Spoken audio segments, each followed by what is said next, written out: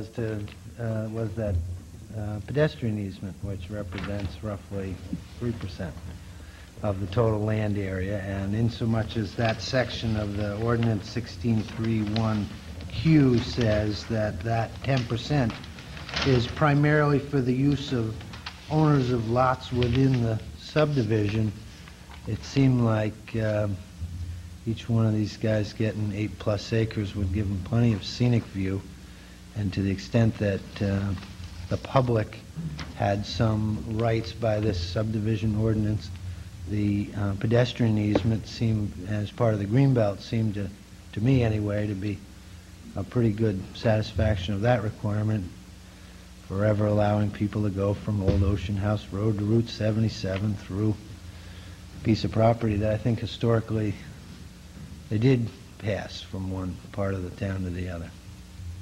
You said that it was larger in reality than what you'd shown on the map originally, didn't you? Um, It's actually the right size, it's just labeled wrong.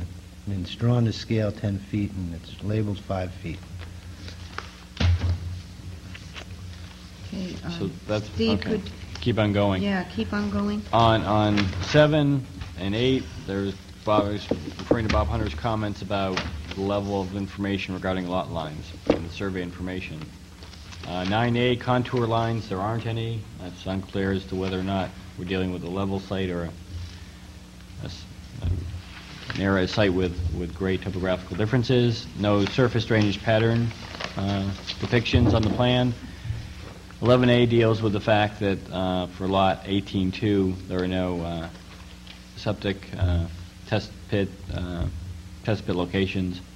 12, there's no, Wait, uh, Before before you go on to that. Steve, um, the report from Sebago Technics, Inc., I I was a little hard to to understand because it it didn't look like it was broken down by lots. It just had your name on the top of each page. Uh, But one of them says, "Use and management development with on-site sewer and water, there are severe limiting factors for building site development due to high water table condition." Is that the one you're talking about?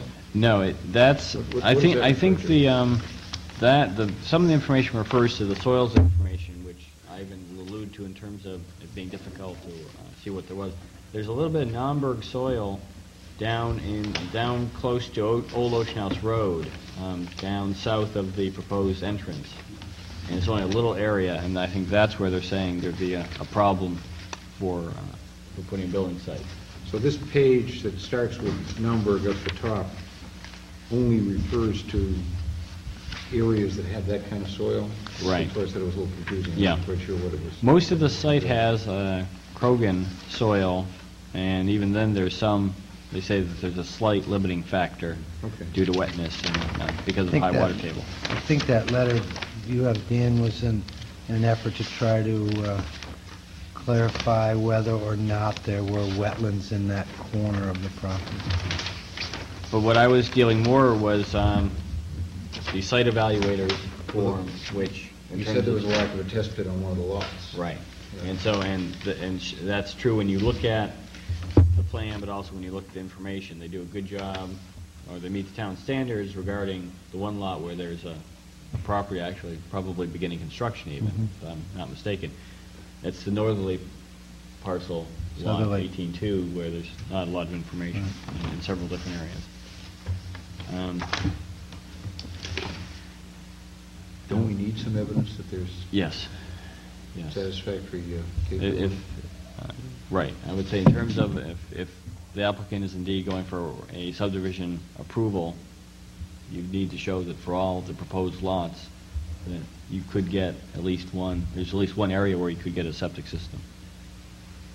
Then, then after that, the applicant's requirements are met for the planning board, then he just has to deal with the, the uh, the plumbing inspector, you know, Ernie McVeigh, to make sure that if he is designing a system for a 12-bedroom house, that uh, it meets the Maine state plumbing code.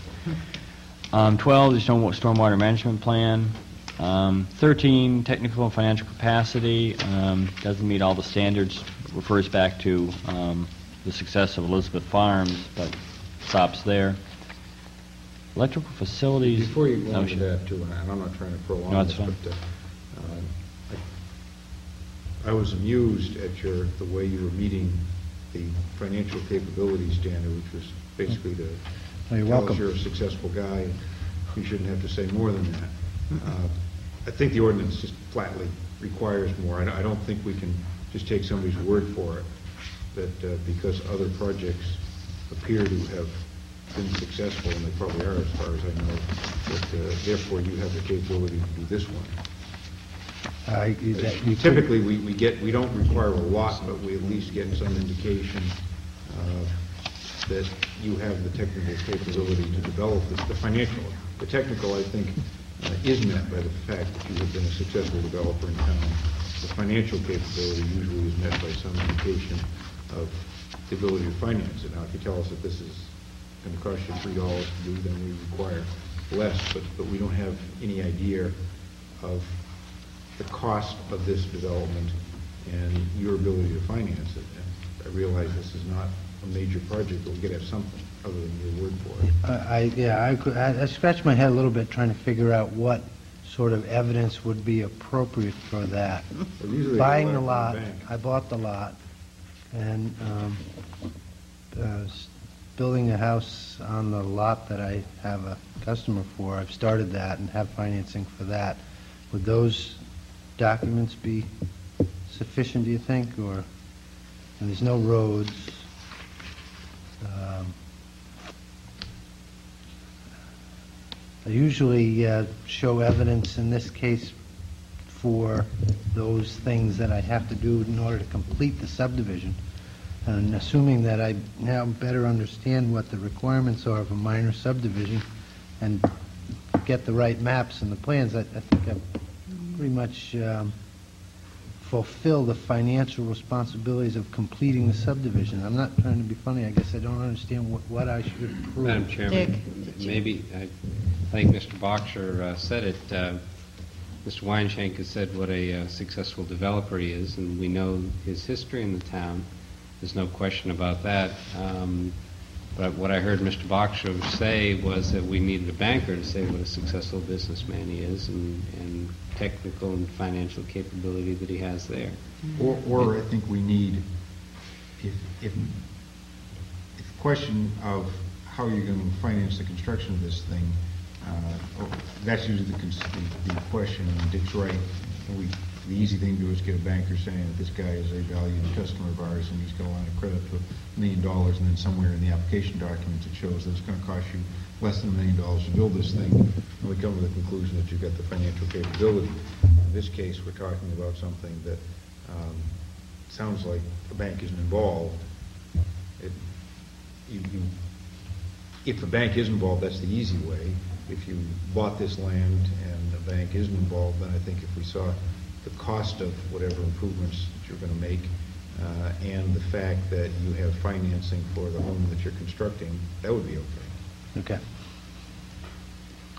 Sorry to interrupt you, Dick. I I didn't want to say that the bank was the only way to do it. Have can you show us your been- I was financial- confused simply because there didn't seem to be any real cost in completing the subdivision.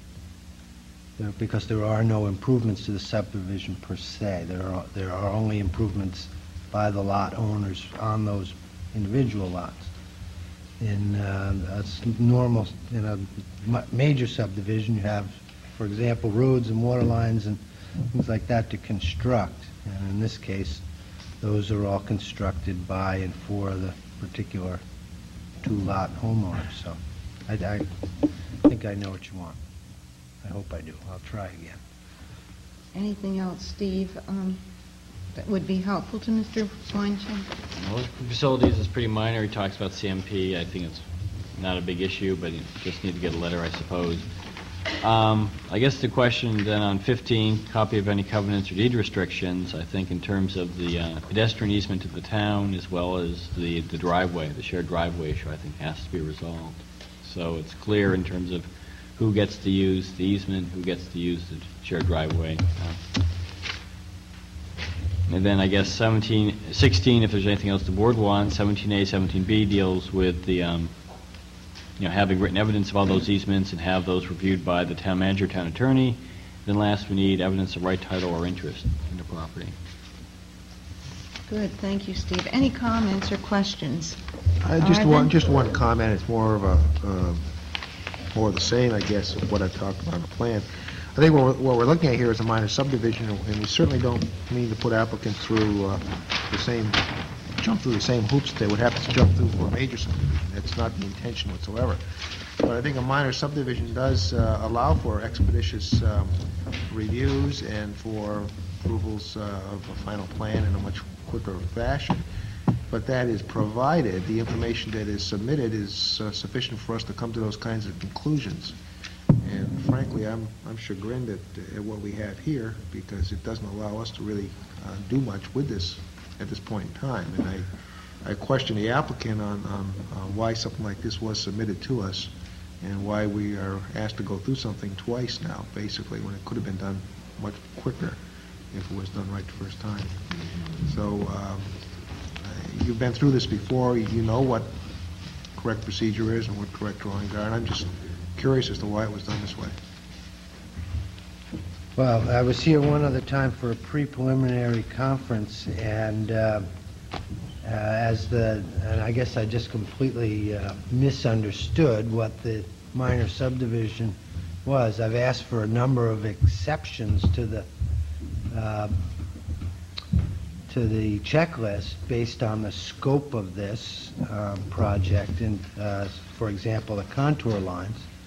And it- as, as I did not get an opportunity to see Mr. Hunter's letter before this, I really simply thought that that, those exceptions would be granted and that the, the installation of a um, driveway across 16 acres of land would not warrant my time and expense or your review of stormwater management. Apparently, that's not the case, so maybe I'll know whether that's the case after I get a copy of Mr. Hunter's letter. Um, Maybe if I had gotten it before this, I wouldn't have bothered you this evening. But I will give you whatever you want as soon as I can figure out what it is you want. Okay, well, why don't Be you more get than happy together, to. get together with Steve, and Yeah, uh, I'd be he will happy. review the ordinance with you, and um, do I hear any more questions in regard to this from members of the planning board? Madam Chairman? Yes. Just uh, perhaps a comment. Um, It's hard to, a minor subdivision should be a relatively, um, relatively easy process in terms of subdivision review, and as Mr. Most has suggested, um, not all data that is typically required would be required for minor subdivision review. There are a lot of waivers here, though, requested, and it's very difficult as a board member to sit here and say whether topography should be submitted or not, when I really don't know what the land looks like. I mean, we could have a tremendously hilly site, we could have a very flat sloping, gentle uh, site uh, on our hands. Um, And there are a lot of those kinds of issues, and I, I wonder even b- before decisions like that are made, whether it may be appropriate to at least look at the site and get a feel for what's going on there. Uh, As we do a public access waiver. When we go out, we look at the land, we look at the lay of the land, and then make some determination on the level of detail that would be involved in, in, in submission to the board. Sounds like a So I guess good what I idea. propose is Yeah, going to look I I at gotta site. agree with, Di- I mean, that's sort of what I expected based on what I've been through and with the planning board before, is that after a preliminary introduction, we'd all at least look and see what this piece of earth looks like, and then from there, sort of jointly decide what level of detail and- and trouble we all need to go through. What do other members of the planning board feel about Dick- Dick's excellent suggestion? Well, Uh, I, I don't have any problem with that, but I really think we should address the issue at hand here, and that's the completeness of this application. Um, If it's complete, it's one thing. If it's not complete, I think we should, we should say so. Um, And then uh, site walk certainly is a good idea, and and an annotated list to Mr. Weincheck of what he needs to make it complete is also going to be useful to him. I have no problem with either one of those last two, but I think we should make a decision on the completeness of the application. Oh, yeah, definitely. I'd be happy to just withdraw it for now, to save you the trouble of deciding whether it's complete or not. I mean, that- that's, I think the point of Dick's comment is, it's kind of hard to decide whether it's complete or not. Maybe I'm not getting that right, but Madam Chairman, just to clarify, Well, though, I we- I we- think, I think if you, if you withdrew, then the board wouldn't have any reason for going on the site walk. I think for now, right. the board, if, if you want to pursue this at all, No, the I board guess can I find definitely wanna- incompleteness, and then the lot can happen between Okay. now and the next meeting, including a site walk and discussions with staff, whatever. Maybe you can just get all your information. Okay. Any other comments? Or do I hear a motion? So, I'll make the motion if nobody Good. else will. Um, Be it ordered that the uh, final application plan of Rick Blanchard and Company for a three-lot subdivision located off Old Ocean, Old Ocean House Road uh, is deemed to be incomplete in accordance with section sixteen two three in Appendix A of the subdivision ordinance and the facts presented. Second. Any discussion? Hearing none. Uh, All in favor, say aye. Aye. Aye. Opposed? It's unanimous. Um, When would the planning board like to go and see this land? This Saturday or three weeks? This Saturday would be, we might as well go this Saturday. Yeah, Let's go this Saturday. let's go this Saturday. What time would you all like to meet at this land? 10 o'clock. 10 Ten. o'clock. Ten Yeah. sounds a. Okay, we will meet, is there any particular place uh, where we should meet? Um, would be You most can't, right, convenient. uh, from here, if you go down Ocean House Road, just before you get to um, the farm, there's a little section of the abandoned portion of Old Ocean House Road, which is right in front of this property and a very convenient place to park. Very visible. Yeah, from here, it's before. So someone will be in a truck or something out on Yeah. Old Ocean. Okay, we'll find each Yeah, other. well, Thank you. stand See there you playing. Saturday at uh, 10 o'clock. Thank you. Okay, now, uh, before we address the next issue, we we have a problem to address on this board. We are running quite late, and it will be up to the planning board uh, what you want to do. Um, Now, there is a Mr. Joseph Higgins. Um, He is not next. He was supposed to be at 9:30. And the, my worry about Mr. Higgins is his address was Derry, New Hampshire. Is there a Mr. Higgins here? Have you come all the way from Derry, New Hampshire? And you are hoping to return to, oh dear God. Well, and uh, then on uh, the Bluestone Quarry, is there anyone from that, uh, and you people need that permit, do you not, to continue your business? Yes. So, um, what are the wishes of the planning board? Um, Do you wish to um, extend or change our rules? Yes, Dick, Don't wish to, but I think we should. I do um, too. Particularly with the long distance travel. Oh, Um, I know it, it's, it's of concern to me. How do the rest of you feel? I agree. You know, and if we don't do it this week, we're just going to have to face it next week, and And we're going to have another public hearing next I know it, too. and it's a, Same. Ivan, is this a problem? No, I, I- I think with the two cases we have here, we should, we should uh, so note in the record so that we did uh, this as a uh, particular case, so it doesn't become a precedent feature. Right, you see, we And I would suggest we put a, a- a close-off time of 10:30 on it. yes, Okay. I also think, Marion, that that this agenda's, you know, I'm sorry to say. Too- and too long. Anybody could have looked at that and known that we were, we were too long More trouble. giving public comment on it. I think if anything, to allow us the time to deal with these things, we ought to err on the side of not. That's right. throwing them. I, I agree. I think we, we should have just taken maybe three, at the most four items tonight. Um, I think what we did was, we underestimated how long it would take on the Highlands again, because this was our second public hearing. But at any rate, we have made a terrible mistake.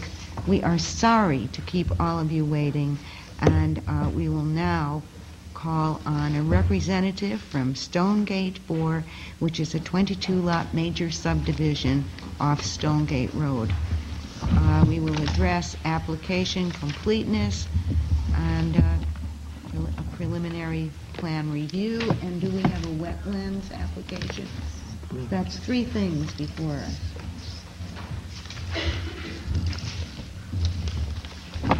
Madam Chairman, Yes. Good Welcome evening. back. Excuse me, um, Mr. Taylor, uh, before before we start, uh, does someone in my firm still have a business relationship with you? Yes. Then I will watch. You cannot vote, and uh, I... uh, I- Actually, I'll take Steve, a I walk around the think- hall for a minute. Steve, do you have a problem? Yeah, I with this feel it's, a- I have a bill? conflict of interest also. Okay, so Judith, would you vote for Mr. Boxer?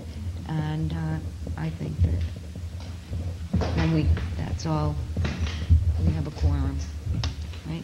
Thank you. In, uh, in view of the lateness of the hour and the other waiting applicants, I will attempt to go through uh, my presentation very quickly. Thank you, Mr. Taylor, that's very considerate of you.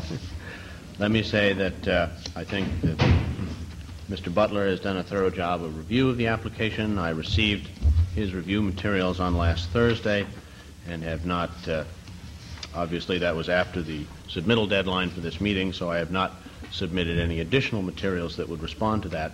So I think it's probably more appropriate just to go through very quickly, indicate where I have questions, and indicate where I feel there won't be any problem complying, and if there is an area where I think it would be inappropriate for us to comply, to discuss that. I would also like to point out that we are also applying, in addition to the subjects you issued, that mentioned, Madam Chairman, Chairman, that um, we are applying for road construction in a resource protection district also. I noticed that. I'm intending to start this evening with the uh, preliminary plan review major subdivision checklist, which is dated January 9, 1990, um, and go right down through them. Items 1A through 4B have been indicated to be okay by Mr. Butler. If I'm going too fast, would somebody please stop? No, just keep going. Um, Item 4C, existing easements, there's a question mark there. Um, There are no existing easements on the project property. We would propose to make a grant of land to the town of Cape Elizabeth for that property that is not included within building lots, and that grant of land would make um, available for uh, pedestrian access all that area not included within a building lot. Is there anything further that needs to be said to address that? I don't think so. The only other issue regarding easements uh, relates to his letter from Bob Hunter saying that he thinks in some cases there may be some slope easements, but I think that may be an issue that gets resolved between now and next meeting between the applicant and, and the town engineer. Taking slope easements, uh, since the issue is at hand, slope easements are those areas outside the normal roadway right-of-way where earthwork construction for roads is carried because the toe slope extends beyond the right-of-way. This is a feature of our Stonegate subdivision plan, for instance. I feel it would be, uh, it's, I acknowledge that they are necessary. I feel it would be appropriate to define them at the final plan stage, since it can be done with far greater precision at that point, since at that point, our roadway construction drawings will be based on actual field topographic survey rather than the photogrammetric methods that are traditionally used at the preliminary plan stage. Item, is there any question on that? Items 4D through 7B are designated okay on the checklist. Item 8A, public sewer facilities, are listed as partial. I can think of two things that might aid in completion there. One is a letter of November 27, 1989, from Robert Malley, the Town Public Works Director, which states that indeed a sewer um, hookup is available for the one lot that we propose. And the second is that Mr. Hunter asks that the location of the sewer and the construction detail be shown on the plans. We will amend the plans to provide that information. Is there anything else on that item? Culverts and drainage areas. Um, Is there a specific question there? I noticed it's listed as partial.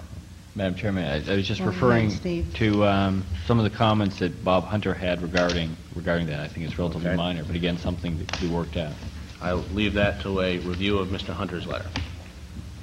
Uh, 8C, 8D, and 9 are indicated as okay.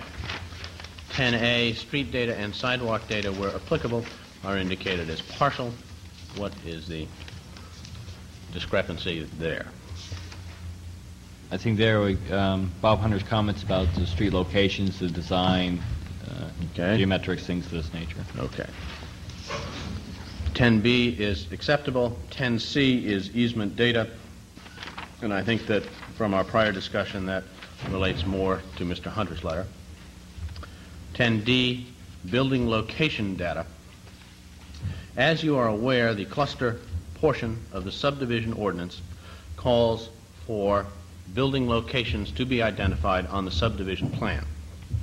Our approach in the Stonegate subdivision which was also approved under the cluster provisions of the zoning ordinance, was to indicate a building envelope rather than a specific building location. The reason being that there should be some freedom for maximizing the economy of the placement of the house on the lot when you don't know the design of the house at this point in time. Items 10E and 11 are complete.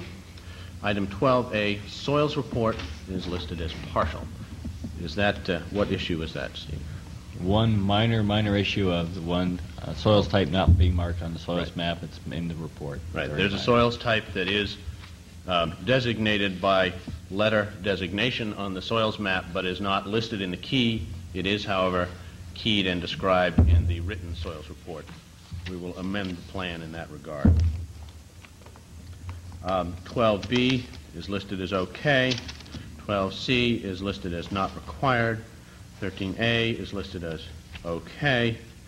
13B is listed as a question mark and um, talks about deed restrictions and a description.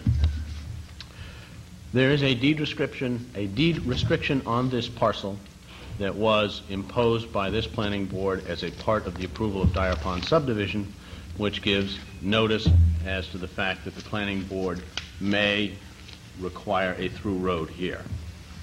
Um, The second set of deed restrictions, if you will, are the covenants for Stonegate subdivision, which will be extended to cover this extension of the subdivision. If the board would like additional copies of that, we can provide them with the next submittal.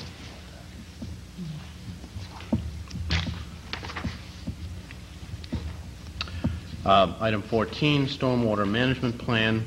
Uh, Are we getting to Bob Hunter's comments there, Steve? Yep. Item 15, proposed lot lines, okay. 16, partial, temporary markers for site work purposes.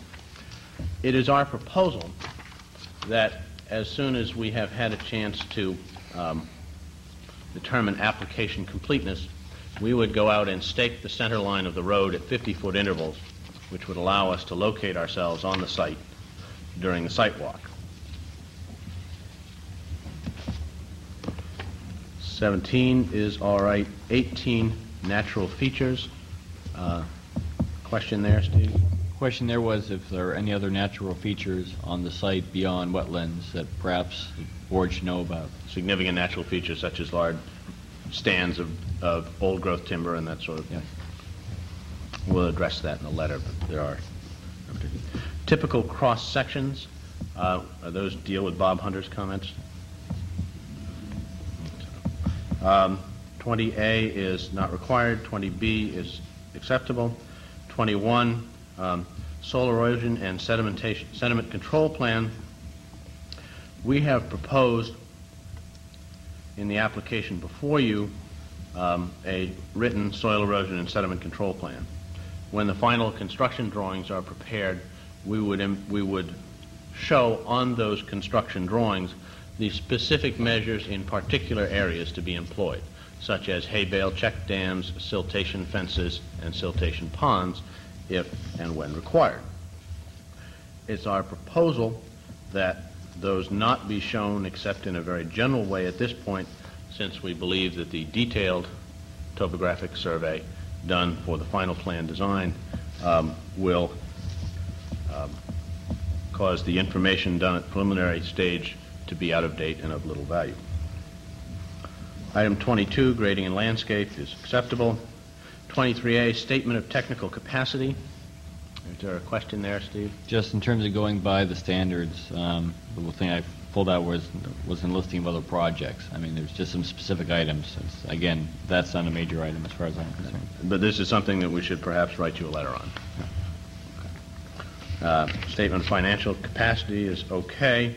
It has a question mark after it. Question question mark just for the board is, is it strong enough and give it, given the current market conditions?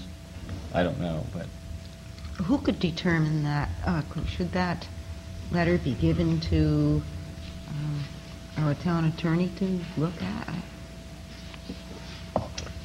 As- Uh, The only case where I can recall that we um, thought of using this was really when we were talking about the marketing of congregate housing or elderly housing, um, just from a historical point of view. I I think most times the boards looked at letters of credit unless they were, and unless they were, they said nothing. Um, I think the boards accepted them in most cases. Okay? 24 is, oh, sorry. Go ahead. Uh, Steve is very used to doing Just this. a one question on that Go point. ahead, Ivan. In our package, do we have anything in the way of a letter? There is a, there is a Yes. letter from Maine Savings Bank. There is. Uh, And, and it is, historically, they've written a letter that says, these folks are good folks and we intend to um, fund this subdivision. Unfortunately, banks have had a tough time lately with those being construed as letters of commitment. And so the bank is very careful saying, we think Mr. Taylor is a nice guy, but we're not going to tell you that we will fund the project until we have a chance to review the financial conditions and market conditions that exist at the time uh, the project is approved. And I think that's the, I think that that was always inherent in the prior letter, but there has been some litigation that has changed the way the bank has had to express their thoughts on this subject. Item 24, community impact analysis. Um, It's my belief that the board is going to require, as allowed by the ordinance, some sort or form of community impact analysis, but it does say only if required, and I was hoping for some guidance here uh, as to what are the key issues for community impact in the eyes of the board. Uh, what- Just to speak to one issue, I think it's important to know roughly how many bedrooms you're proposing per house and how, what the impact might be on the school system, uh, and uh, naturally, traffic uh, impact is going to be a- an issue on this particular uh, location since it would empty out onto Fowler Road. Mitchell. Uh, Excuse me, Mitchell. Mitchell. That's all right, I'm in the the hour wrong is late. location. Um, Those are just two things that I think are off the top head. Um, Evidence of right, title, or interest in the property to be reviewed. I can assure you that we own it, and that's sufficient right, title, or interest. Um, A copy of the deed has been furnished to town in our DEP application. If a separate copy is necessary, we will supply it um, by the submittal deadline for the next meeting. Going to Mr. Hunter's letter, um, I would say that um, we generally agree with Mr. Hunter's comments. Um, One theme running through here is the difference between um, preliminary plans and final plans and the need for um, uh, accuracy sufficient for construction drawings to be in the final set as opposed to in the preliminary set. Another issue we should point out. Is that, is that the tape? Haven't I waited? Oh, there's a, here. Um, The, the road as it is currently configured comes close to the wetland edge with the possibility of some roadway construction spilling over, if you will, into the wetland. We recognized this even before we had the benefit of Mr. Hunter's letter, and you will receive in your next packet revised plans that show this road reduced, this circular portion of the road reduced in size so that was pulled back from the wetland edge. We have, we have done that, uh, once, once we had this completed and took a critical look at it ourselves, we realized that shortcoming and made that change in advance of being aware of Mr. Hunter's comments. Um,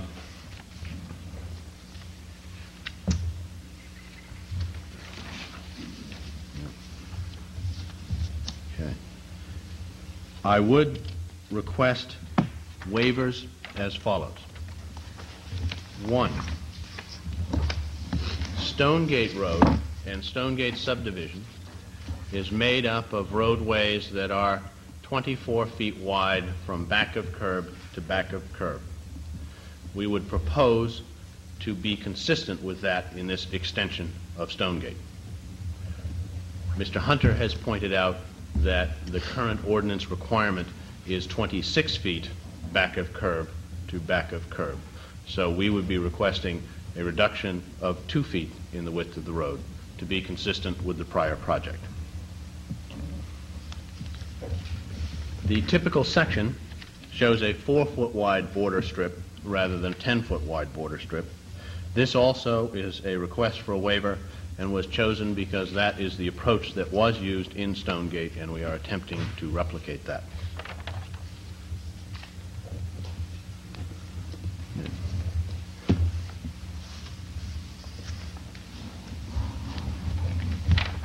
Those are our um, waiver requests. Um, With regard to the, um, the issues that Mr. Hunter brings out about the one inch equals 100 versus a larger scale plan, as I say, our approach here is on a planning basis to use the one inch equals 100 materials, and when it, and when we have a preliminary plan that is acceptable, to then go ahead and do an actual survey in the field using uh, traditional survey instruments and do the roadway design on field-located topography as opposed to photogrammetric topography. The reason we don't do this at this time is that field topography is really very expensive to do, and we would prefer to do it only where it's necessary to be done.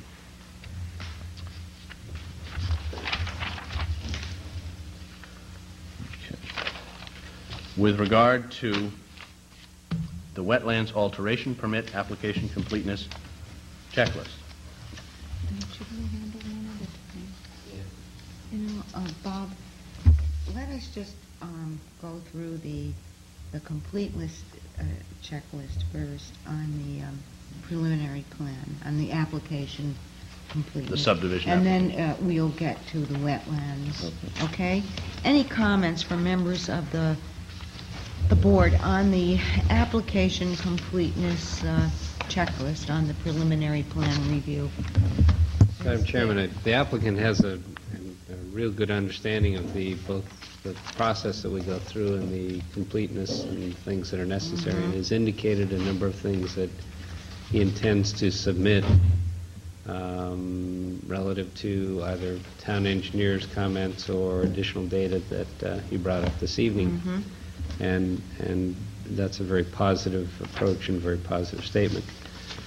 Um, I think we should move either completeness or incompleteness at this point. And before that's done, um, only a quick comment about a meeting that we had with the Conservation Commission the other night. Um, The tree warden for the town of Cape Elizabeth presented a slideshow for Conservation Commission and Planning Board members showing public trees in the public right-of-way. And two of the slides, two of the 50 slides that were shown dealt with Stonegate and Dyer Pond as having trees in the public way that someday will be no longer there, that attempted to be saved, and that's laudable from what our tr- tree warden was indicating to us. And yet with uh, grade changes, either up or down, there were some problems that would be experienced in a few years. Um, The message that night uh, with the Conservation Commission was that we have to pay more attention to trees in public ways that are attempted to be saved in subdivisions, and maybe that's one of the community impact analysis issues that should be addressed, so that those are marked, those are understood, and that our tree warden uh, visits the site with us and the Conservation Commission as we do our walks to determine whether or not those should and can be saved. Good idea. Thank you. Any comments about the um, completeness issue. Madam Chairman, there are several issues that uh, Mr. Taylor has indicated that he intends to submit uh, to make the application complete. My question is, with that understanding and from our staff, whether those are sufficient basis to deem it incomplete uh, at this point. What do, what do you think, Steve? I guess I would say that, given what needs to be filled in, that I would probably, probably lean on the side of incompleteness, but I think that's something the applicant was anticipating, and, I mean, that- and I don't anticipate any problem with all those issues being resolved between now and the next submission deadline. So I guess I would go for incompleteness at this point. It- Excuse me if I may. Um, Is my understanding correct that um, when the board votes incompleteness, it specifies the items that are missing also? That's correct. Mm-hmm. Thank you. Within 30 days, I believe, we have to provide a letter to indicate those things that are necessary. Mm-hmm. To that end, Madam Chairman, I would move that we order that a pre- that the preliminary plan application of Stonegate Associates for Stonegate 4, a proposed 22-lot subdivision located off Stonegate Road is deemed to be incomplete in accordance with Section 1624 and Appendix B of the subdivision ordinance and the facts presented. Thank you. Is there a second? Second. Okay. Any discussion? Hearing none. All in favor, say aye. Aye. Opposed? Well, that is incomplete, but you know what needs to be done for the next time. Um, And we do have to write a letter. Right. Okay, next, we have on the agenda um, preliminary plan. Um, But perhaps it would be prudent to address at this time the wetlands alteration permit application completeness checklist. And Steve, would you uh, do that? Sure. Um, This is going to seem familiar since you've done it once already this evening. Some of the issues are going to be the same. Um, First item's okay, second one is left blank in terms of the um, one-foot contours and the actual location of the, uh, of the alteration areas. There's a partial, and that just relates to flow direction. Again, I don't think that's a big issue, um, but it's there in the ordinance. The applicant hasn't, has not yet submitted statements indicating the anticipated effect. And um, also, and related to that is the item below, which talks about how specifically the alterations would meet or not meet your standards in the wetlands ordinance. Then the same issue for subdivision, uh, the issue of right title and interest. May I? uh, Yes. Would you like to address that? Yeah. Um, With the item two, location and slope of all existing grades and all proposed grades upon completion of the proposed alteration at one-foot contour intervals. We would be happy to provide those, however, we are requesting a waiver for the following reasons. The slopes in the areas where we are crossing the wetlands are greater than 1% and as high as 10%.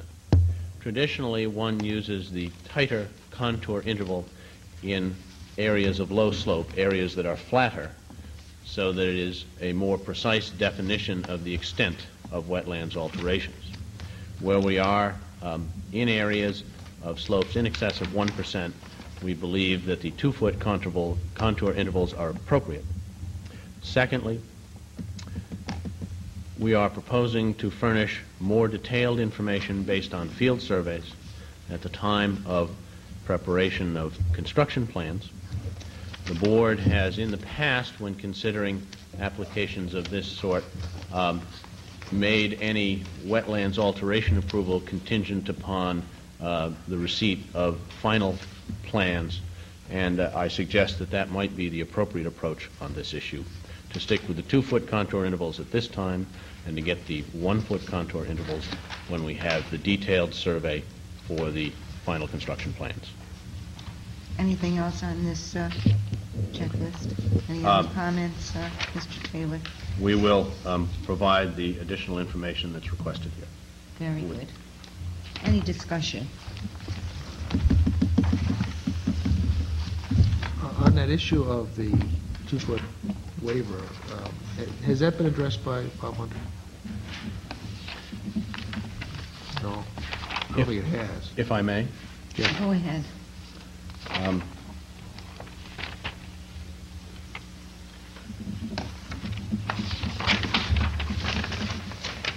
Undoubtedly, the existing topography was developed by aerial photogrammetric methods and is satisfactory for preliminary design and planning.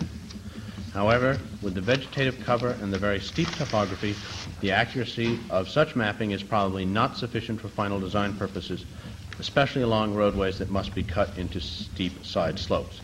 Final design plans of the roadways should be based on ground surveys with centerline profiles and roadway cross-sections at 50-foot intervals. However, it must be recognized that this survey and design effort is a major and costly undertaking and may not be appropriate to the preliminary plan submissions. Such detailed data will be required prior to final plan approval. This is a quotation from Mr. Hunter's December 11, 1989 letter, and we would propose to comply with that requirement. That was a very lengthy four-page letter, wasn't it? Excellent report. Uh, Any other questions or comments?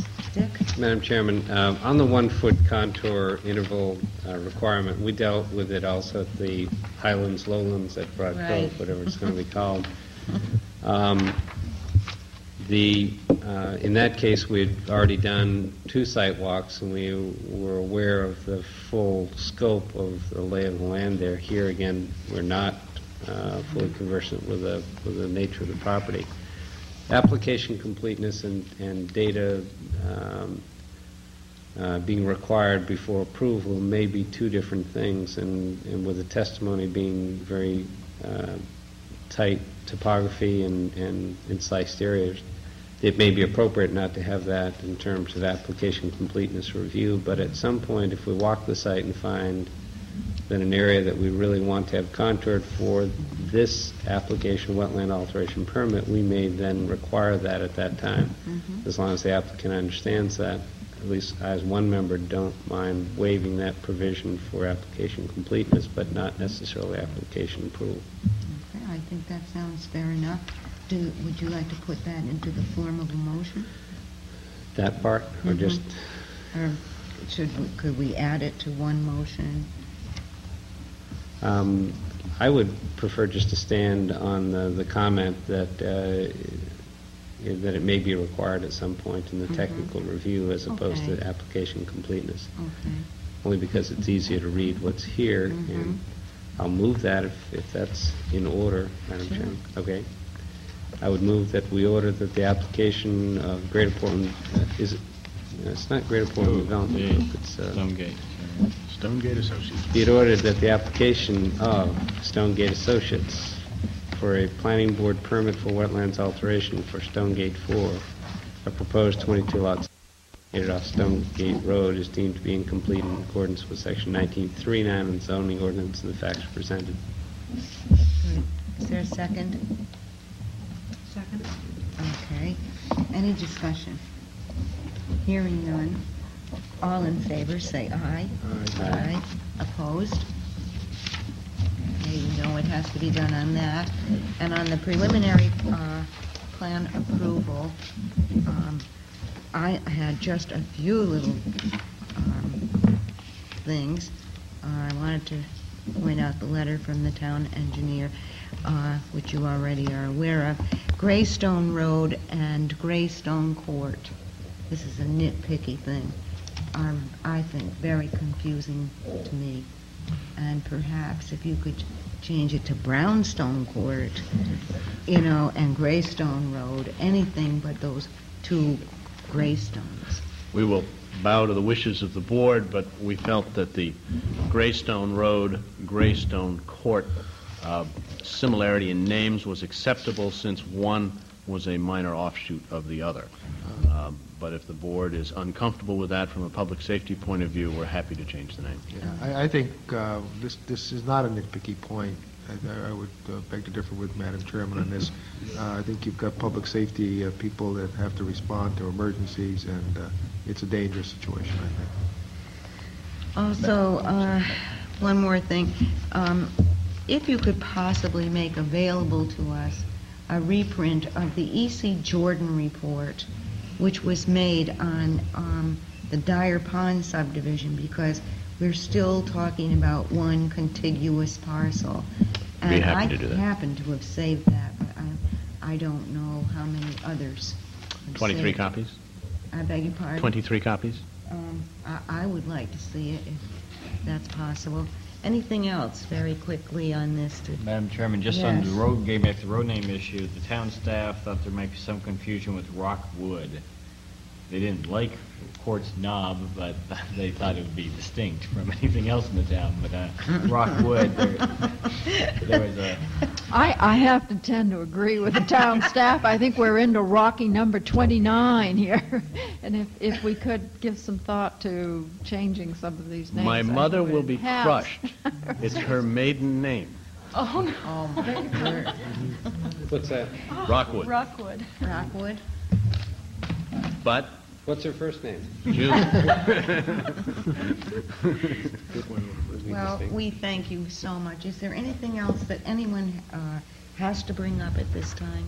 Just one point on uh, the request for some additional data, Marion, that you made. Uh-huh. Um, I I don't think there's anything, it seems like the applicant's were willing to supply, but I- I would think that, I would hope that the town planning office retains records of past approved plans. Is that true, Steve? Yes. Oh, they Sure do, do. yes. And uh, I I- would think, you know, if some of these reports can be fairly lengthy.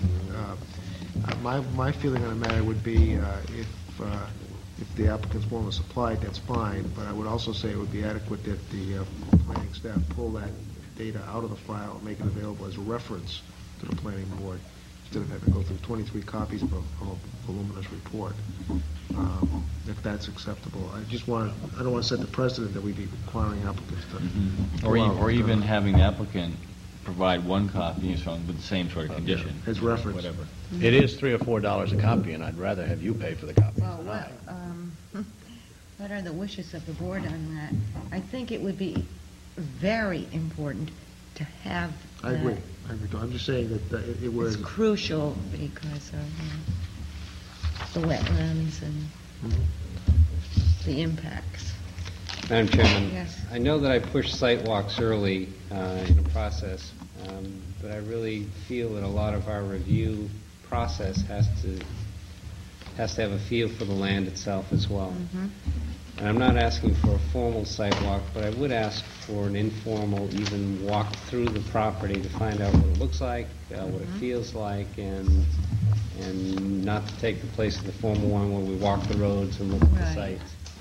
Um, But I would think that in, in the next month, it may be appropriate to walk that site and just get a feel for it, at least on an organized basis where we're all invited at the same time, Yes. along with the Conservation Commission to look it over. I agree. And when, when would you suggest we do that in the next month? Um, Saturday? I, I am, Saturday? I am certainly available if you wanted to do it Saturday after um, your walk on Mr. Weinshank's property. Mhm. Would all of you like to take a walk on Saturday? If 11 there o'clock? is, a ma, 11 o'clock would be fine. And uh, if there is um, a major storm or, you know, rain or a blizzard, uh, we probably won't be there.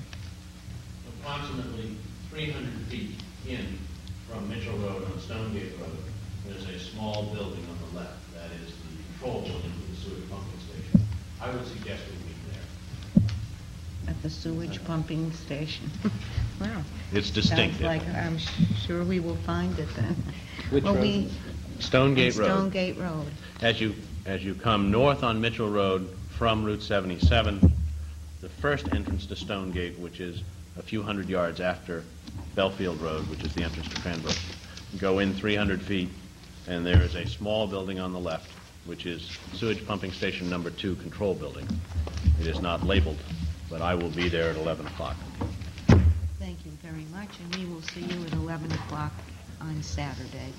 Uh, One further question, if I may. Is there any need for completeness review on the resource, uh, construction of a road in a resource protection district?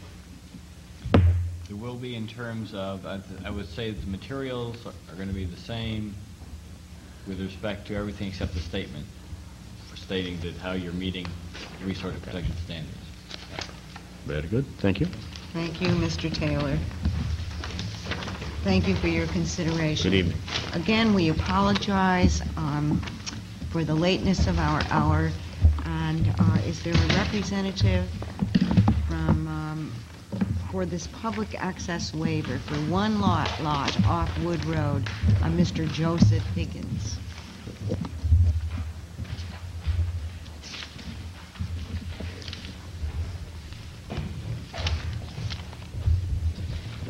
Yes. My name is Joseph Higgins. I am presently living in Deering, New Hampshire. Good evening. Uh, Good evening. Or is it good morning? I thank you for extending the meeting. I appreciate that. It is quite a drive back and forth. It is, and thank you for waiting. Go I don't have a checklist or anything here. Well, no, no, uh, just um, explain briefly. We know what you're doing because we get all of the information in the packets, but other people might not know uh, what, what you're interested in accomplishing. So if you could just uh, tell them briefly that you are uh, attempting to obtain a public access waiver for one lot on Wood Road, and what you plan to do there, etc. Okay. I plan to build a single-family house for myself, my wife, and my mother Mhm. on uh, family land that I have an interest in. I've had an interest in since the 50s. I've been planning to build a house for some 20 years since I got out of the service, but I just haven't had the time or the, or the money, and now I have everything together, and I'd like to come back to Cape Elizabeth and spend the rest of my life here. Well, we'd be happy to have you. Um, Is there anything else that, uh, did you have anything to um, add? Sure, please step to- up to the microphone and uh, state your name. You see, this is all televised and recorded. My name's Paul Lawrence. Paul Lawrence? Yes. And I'm a site evaluator and have just been uh, working locally with Mr. Higgins, trying to coordinate some of his efforts. Uh, It's difficult working out of state as it is, and Yes. I'm his local, just local representation. Mm -hmm. Uh, In addition to what he has already stated, as far as concerning the, the public access waiver, the, uh, up until this point, everything that we've read in the, in the documentation has stated uh, minimum road widths of 22 feet and so on and so forth. Uh, This, the point of access is, uh, is coming off the Wood Road, and at the point of intersection, the traveled way is approximately 14 feet in width, and would, would just, you know, would just ask that it be considered reasonable to match, you know, no more than match the existing road width, and am not exactly sure what the intent is in the public access uh, waiver to, to put a 22-foot wide road off a 14-foot wide, you know, public way, and just wondering if we could, uh, could get that compromise. And if, uh, just here to answer any other questions that the board has at this time regarding the public access waiver. Thank you. Any comments or questions from the board on this uh, application? Yeah.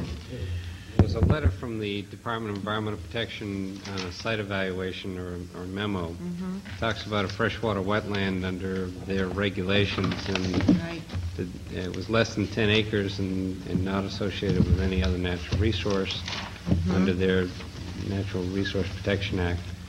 Um, That would indicate that there may be some wetlands on the site. and, Yes. uh, Ask the applicant to address those issues. There, there is, this is mapped by the, uh, by the town as being a wetlands area by virtue of the soil type. Which is Swanton. Right, wi- and that determination was, was made by Ken Gardner.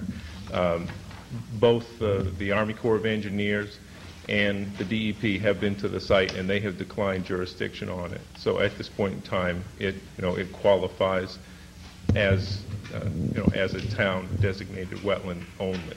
And upon, you know, at a- whatever stage it is appropriate, that would definitely be a, a fre- we'd have to go through the freshwater wetlands alterations process in, in order to, uh, to complete uh, qualification for the uh, permit. Do you, uh, do you have uh, an estimate as to what the size of the wetlands is there? Uh, Roughly, I would say it would have to be somewhere between the two to four acre. You know, I, I can't envision it including any more acreage than that. There's, if, if you know the area, as you come up Wet, uh, Wood Road on your left-hand side, there is a, a large flat field.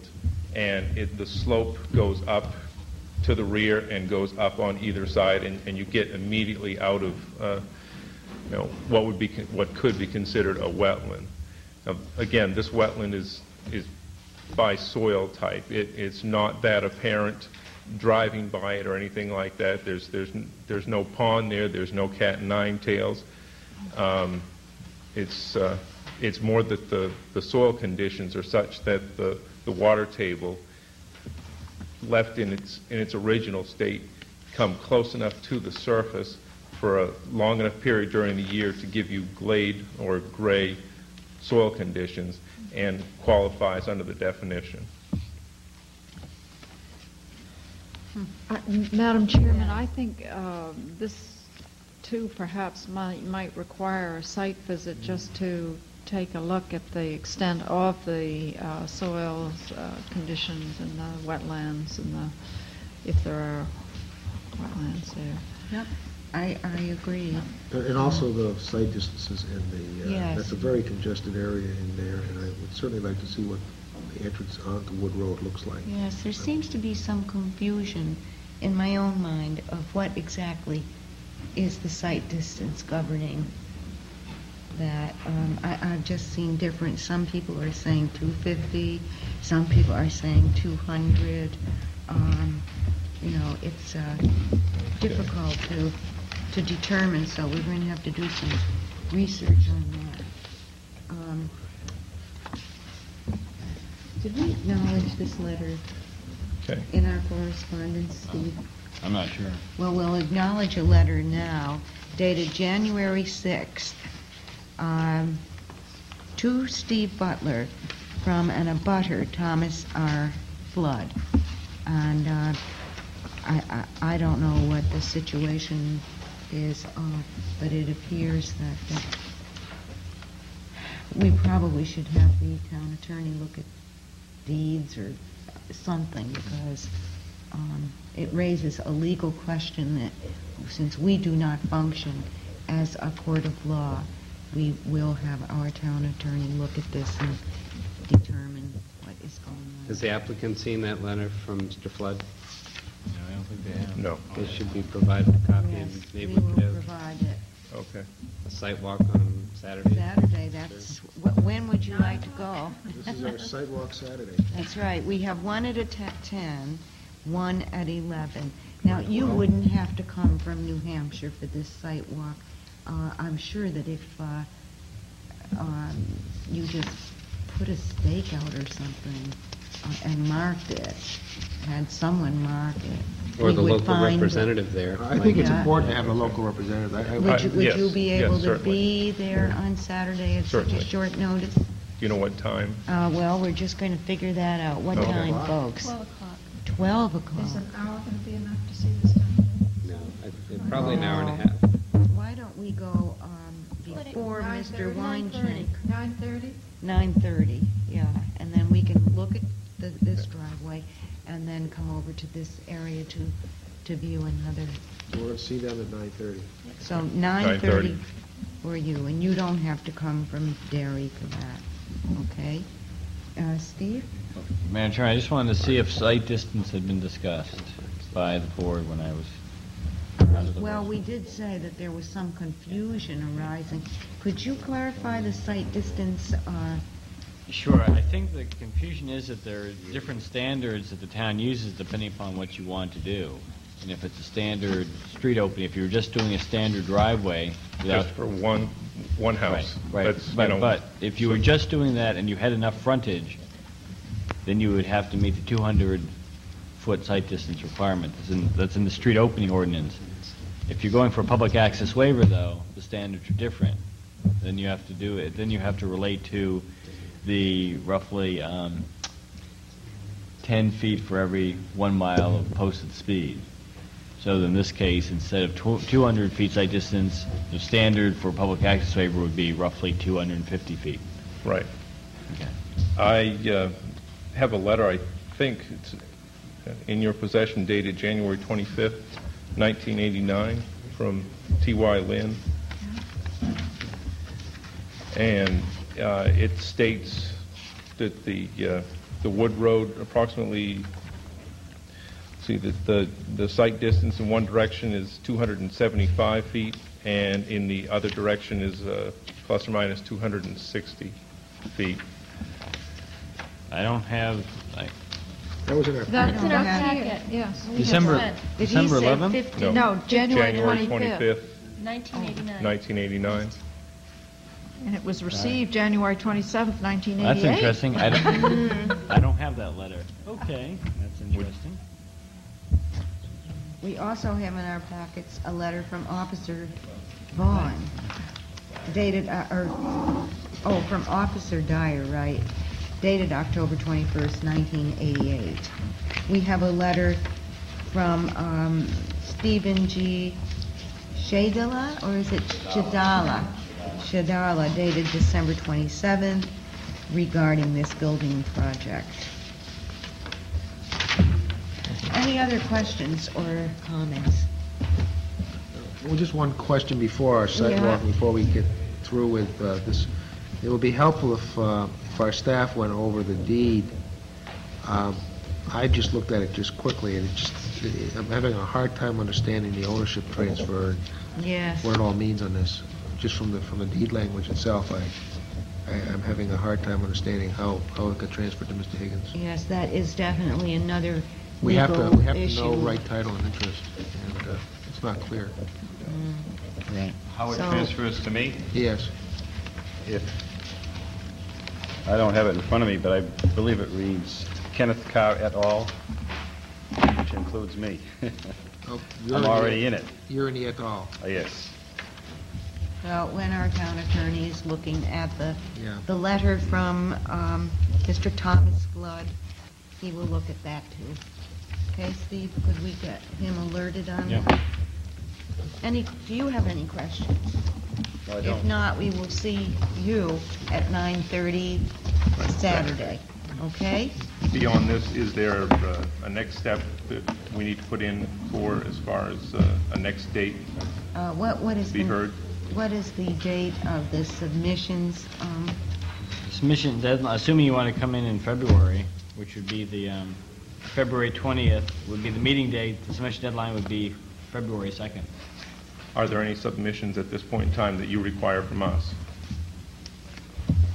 I think that'll be better answered at the public, um, at the site walk. I think, but a question in terms of, there may be something that's required by the town attorney regarding Fine, more clarification understood. of, of uh, right title and interest. That might be it. Um, I didn't, I don't remember seeing the package, although it was some time since I've really looked at it. Uh, Some of the issues, the specific four or five or six points in the ordinance that deal with turnarounds, fire chief letter, um, pavement area, and rather than conditioning those, the applicant might want to get that ordinance, review it, and make a positive statement to those five or six issues of what is proposed on the site. I believe the applicant has the ordinance language. Yes. Just the, the general town ordinance? Yeah, and the public access waiver. It is ordinance, have uh, ordinance relating to the public what is access it? waiver? Uh, It is uh, section 19-4-2B. Believe I sent that in the mail. you, The Mr. zoning, under the zoning ordinance. See, we work with several sections Okay. of ordinances. If, if we don't have it, we'll get it. Okay. Okay. Thank you very Well, we much. thank you very much if you have no further questions, and have a safe trip back to Thank you. Derry. Thank you very much. Thank you. Uh, Last on the agenda, we're- and we're sorry again to keep you waiting, Bluestone Quarry, renewal of the annual quarry permit.